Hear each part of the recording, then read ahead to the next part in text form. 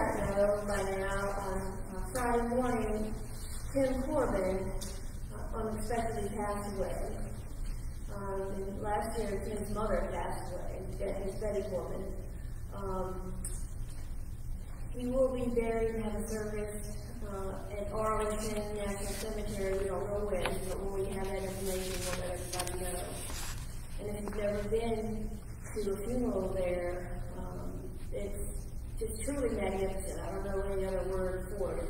I went to one. Uh, Tim and I were both in uniform at that time, and it was just beautiful. So hopefully, when the time comes, we can get a contingent of people from St. Mary's to go out there. Yesterday, we ordained Lynn Wilden to the um, diaconate up at the uh, St. Peter's in Salisbury, and that was Bishop was there, they had a choir, and then we had a lovely uh, luncheon afterwards, and most of the food was provided from St. Mary's, and thank you to everybody who provided food and participated in any way. It was really, really great. And I have some pictures on my phone. Hopefully we'll put a little booklet together for Lynn of all the, the pictures that people took. and um, lastly, next Sunday happens to be May 5th. It's in Espanol, the speaker denied.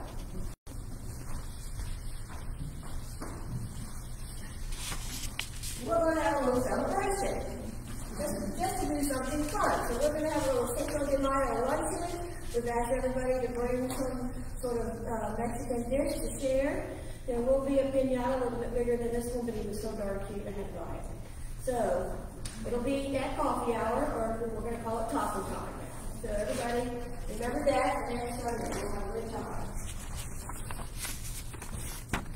All right. Does anybody else have any announcements? No? All right then. Let's.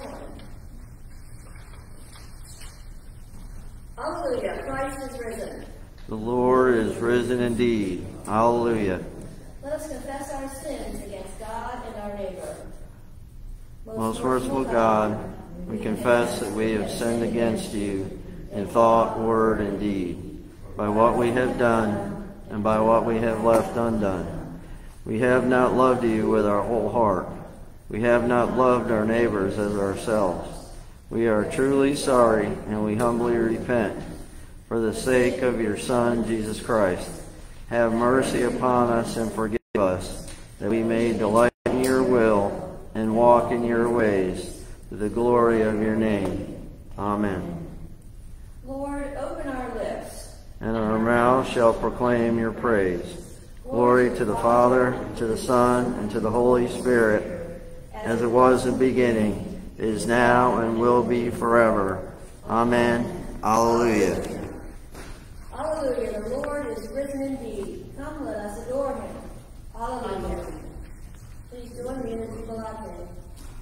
Be joyful in the Lord, all you lands. Serve the Lord with gladness, and come before his presence with a song.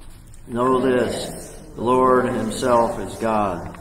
He himself has made us, and we are his. We are the people and the sheep of his pasture. Enter his gates with thanksgiving. Go into his courts with praise. Give thanks to him and call upon his name. For the Lord is good, his mercy is everlasting, and his faithfulness endures from age to age. This morning we'll say the response psalm, and for today it's Psalm 22, verses 24 and 30, and we will say it responsibly by the half. My praise is of him in the great assembly. I will perform my vows in the presence of those who worship him. The poor shall eat and be satisfied, and those who seek the Lord shall praise him. May your heart live forever. At the ends of the earth shall remember and turn to the Lord. And all the families of the nation shall bow before him. For kingship belongs to the Lord. He rules over the nations. To him alone all who live in the earth bow down all who go down to dust fall before him. My soul shall live for him. My descendants shall serve him. They shall be known as Lord forever. They shall come and make known to a people yet unborn. The saving deeds that he has done. Please be seated. The first lesson is from Acts chapter 8, verses 26 through 40. An angel of the Lord said to Philip, Get up and go towards the south to the road that goes down from Jerusalem to Gaza. This is a wilderness road. So he got up and went. Now there was an Ethiopian eunuch, a court official of Candace, queen of the Ethiopians, in charge of her entire treasury. He had come to Jerusalem to worship and was returning home. Seated in his chariot, he was reading the prophet Isaiah. Then the Spirit said to Philip, Go over to this chariot and join it. So Philip ran up to it and heard him reading the prophet Isaiah. He asked, Do you understand what you are reading? He replied, How can I unless someone guides me? And he invited Philip to get in and sit beside him. Now the passage of the scripture that he was reading was this. Like a sheep he was led to the slaughter, and like a lamb silent before his shearer. So he does not open his mouth. In his humiliation, justice was denied him. Who can describe his generation? For his life was taken away from the earth. The eunuch asked Philip, About whom may I ask you? Does the prophet say this? About himself or about someone else? Then Philip began to speak, and starting with the scripture, he proclaimed to him the good news about Jesus. As they were going along the road, they came to some water, and the eunuch said, Look, here is water. What is to prevent me from being baptized? He commanded the chariot to stop, and both of them, Philip and the eunuch, went down into the water, and Philip baptized him. When they came up out of the water, the Spirit of the Lord snatched Philip away. and The eunuch saw him no more and went on his way rejoicing. But Philip found himself at Rhodes, and as he was passing through the region, he proclaimed the good news to all the towns as he came to Caesarea. The word of the Lord. Thanks be God.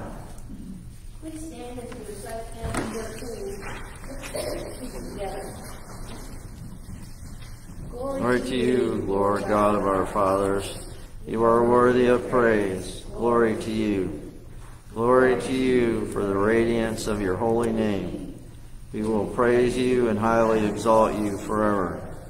Glory to you in the splendor of your temple. On the throne of your majesty, glory to you. Glory to you, seated between the cherubim. We will praise you and highly exalt you forever. Glory to you, beholding the depths and the high wall of heaven. Glory to you. Glory to you, Father, Son, and Holy Spirit. We will praise you and highly exalt you forever. A reading from the second lesson from the Gospel of John. Jesus said to his disciples, I am the true vine, and my Father is the vine grower. He removes every branch in me that bears no fruit. Every branch that bears fruit, he prunes to make it bear more fruit. You have already been cleansed by the word that I have spoken to you. Abide in me as I abide in you. Just as the branch cannot bear fruit by itself unless it abides in the vine, neither can you unless you abide in me. I am the vine, you are the branches. Those who abide in me and I in them bear much fruit, because apart from me you can do nothing. Whatever, whoever does not abide in me is thrown away like a branch and withers. Such branches are gathered, thrown into the fire, and burned. If you abide in me, and my words abide in you, ask for whatever you wish, and it will be done for you. My Father is glorified by this, that you bear much fruit and become my disciples. The word of the Lord. Thanks be to God. Please stand as we recite chapter 15, the Song of Mary.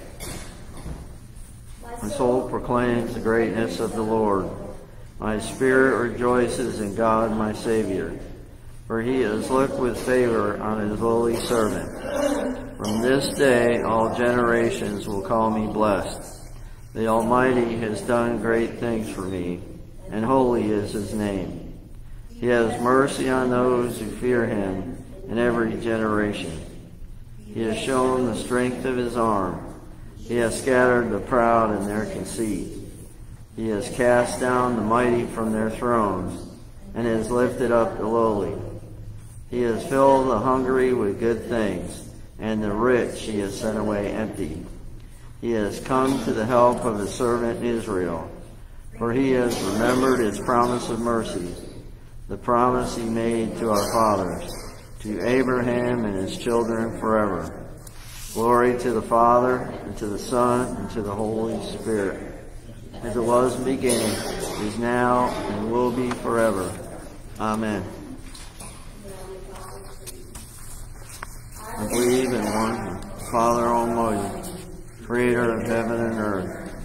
I believe in Jesus Christ, his only Son, our Lord.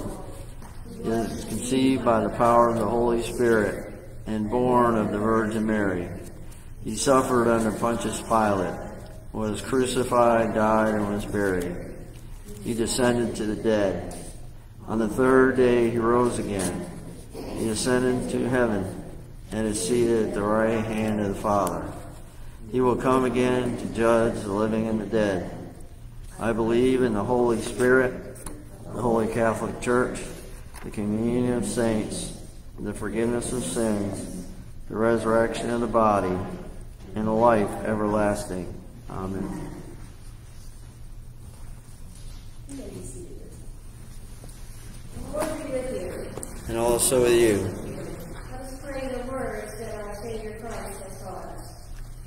Our Father, art in heaven, hallowed be thy name. Thy kingdom come, thy will be done, on earth as it is in heaven. Give us this day our daily bread, and forgive us our trespasses, as we forgive those who trespass against us. And lead us not into temptation, but deliver us from evil. For is the and the power, and the glory, forever and ever. Amen. And now let us read suffrage A responsibly. Show us your mercy, O Lord. and grant us your salvation. Clothe your ministers with righteousness. Let your people sing with joy, Give peace, O Lord, in all the world. for in you can we live in safety. Lord, keep this nation under your care. And guide us in the way of justice and truth. Let your way be known upon earth. Your saving health among all nations, Let not the needy, O Lord, be forgotten. nor the hope of the poor be taken away. Create in us clean hearts, O God. And sustain us with your Holy Spirit. Let us pray the contemporary collect of the day together. Mighty God, who truly to know is everlasting life, grant us so perfectly to know your Son, Jesus Christ, to be the way, the truth, and the life, that we may steadfastly follow his steps in the way that leads to eternal life. Through Jesus Christ, your Son, our Lord, who lives and reigns with you in the unity of the Holy Spirit, one God, forever and ever. Amen. Now let us pray the mission together. O God, God, you have made of one blood all the peoples of the earth, and set your blessed Son to preach peace to those who are far off and to those who are near. Grant that people everywhere may seek after you and find you. Bring the nations into your fold. Pour out your Spirit upon all flesh, and hasten the coming of your kingdom. Through Jesus Christ our Lord. Amen. Now we'll sing the prayers of the people, uh, on the Book of Common Prayer, page three eighty-seven, and form reading booklet. Father, we pray for your holy Catholic Church. That we all may be one. Grant that everyone may truly and humbly serve you, that that your name may be glorified by all people, We pray for all bishops, priests, and deacons. that they may be faithful ministers of your word and sacraments, We pray for all who govern and hold authority in the nations of the world. that there may be justice and peace on the earth, Give us grace to do your will in all that we undertake. that our works may find favor in your sight, Have compassion on those who suffer from any grief or trouble. That they may be delivered from their distress. Give to the departed eternal rest. especially to. Let Let light perpetual shine upon them. We praise you for your saints who have entered into joy. May we also come to share in your heavenly kingdom. Let us pray for our own needs and those of others.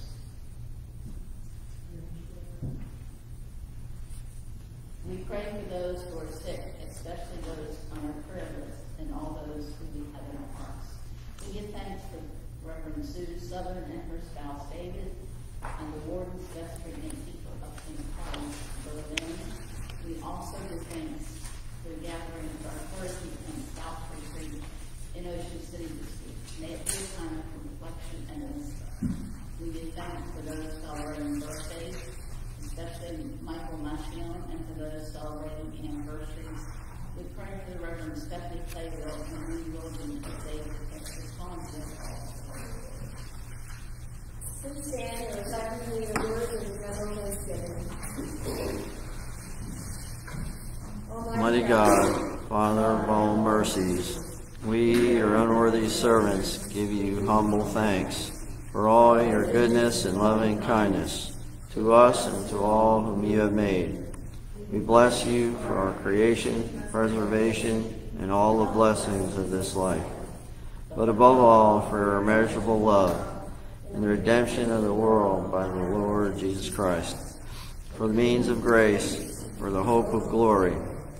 And we pray, give us such an awareness of your mercies that with truly thankful hearts we may show forth your praise, not only with our lips, but in our lives, by giving up ourselves to your service, and by walking before you in holiness and righteousness all our days through Jesus Christ our Lord, to whom with you and the Holy Spirit be all honor and glory throughout all ages. Amen.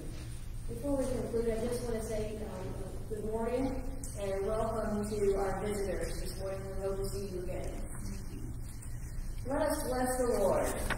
Thanks be to God. Glory to God whose power working in us can do infinitely more than we can ask or imagine. Glory to him from generation to generation in the church and in Christ Jesus forever and ever. Amen.